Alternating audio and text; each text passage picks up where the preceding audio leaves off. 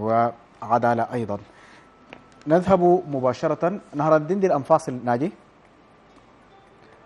إلى نهر الدندر ونعود لنتواصل.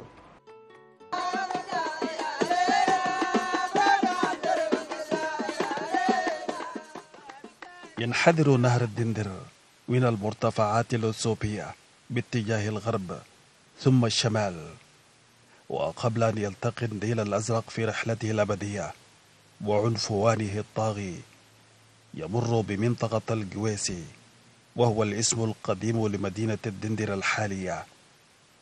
وقد منح النهر قاطنيه على شاطئيه الحياة والاستقرار والنماء حتى غدت المنطقة في مصاف المدن لكن بداوتها لا زالت ظاهرة للعيان.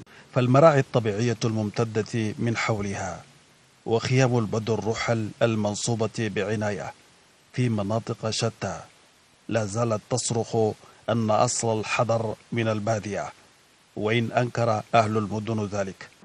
الحياة في البادية ترتكز على البساطة والتقشف وتبدو القسوة على محياها ومع ذلك فهي بالنسبة إلى أهلها نعيم مقيم لا يدانيه نعيم وشقي من لم يجربها.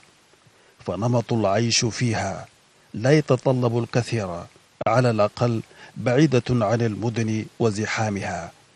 وبالرغم من ذلك فإن ضغوط الحياة المتصاعدة زحفت إلى البادية وطالت أهلها البسطاء ومستهم بشيء من غلظتها. تلجأ رفاعة إلى موروثها الشعبي كلما حنت إليه تجدد به عزمها وتروح به عن نفسها.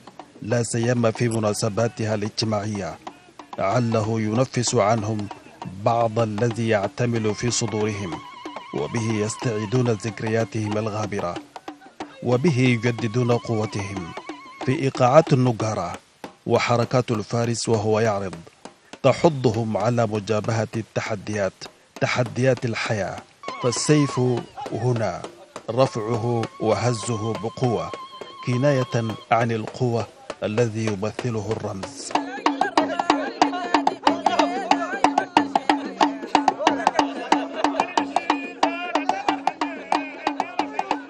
توغلت قبيلة رفاعة من الشمال باتجاه الجنوب بحثا عن الكلى والماء فهي قبيلة لا تعرف السكون فهي راحلة مع مواشيها حيثما يتوافر الماء والكلاء حتى طاب لها المقام في منطقة الجويسي أو الدندر التي تضج بجمال الطبيعة فقد جمعت ما بين الماء والخضرة والوجه الحسن غير أن المرأة وهي تنتقل في البادية تحتاج إلى شيء من العناية. وهكذا تبقى البادية قريبة إلى فطرة الناس الأولى تذكرهم دائما بالاستمساك بالقيم والأخلاق الجميلة فالشهامة والنخوة والشجاعة أحد المرتكزات الأساسية لأهل البادية والكل هنا على طبيعته وسجيته.